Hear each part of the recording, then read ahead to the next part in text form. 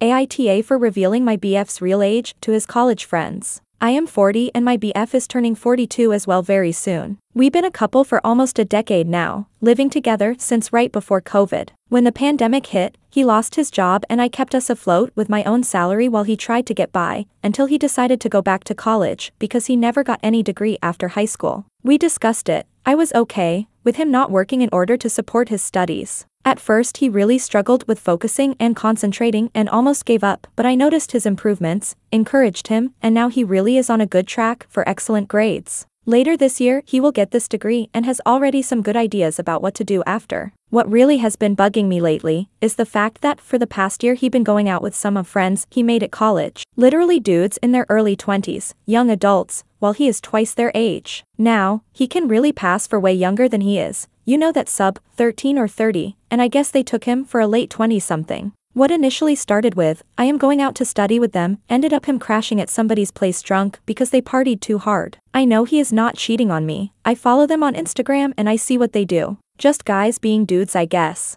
The problem is I need him functioning because we have stuff to do around the house and I rely on him since I am at the office all day. We don't have kids, but you know, commitments and errands like adults. When I confronted him about his behavior, he defended himself saying that he never got to experience the college life, and he just wanted to have some fun. I was okay with it initially but as the degree is approaching they really are taking it too far. Now he is even talking about going for a vacation with them this summer. I was like, excuse me? Vacation with teenagers now? Maybe you should bring me for supporting you during all this mess, he said he would, but wanted to have one last shot at the college life he never had before parting ways forever with them. Eventually I had enough, and I send a message to one of the dudes saying if they can please leave him alone for a while, because apparently I have to step up and be the only adult, besides he clearly cannot keep up with them and I am afraid this will affect his grades. He cannot go out as much as they do, he has responsibilities being almost 40 and stuff. Well, they distanced from him ever since. He was enraged when he found out and I said I would have preferred if he did it himself, but apparently he was so enthralled by the college life that, for a moment, I really thought he self-convinced to be 20s again. He stopped speaking to me and said he wants to focus on his final exams.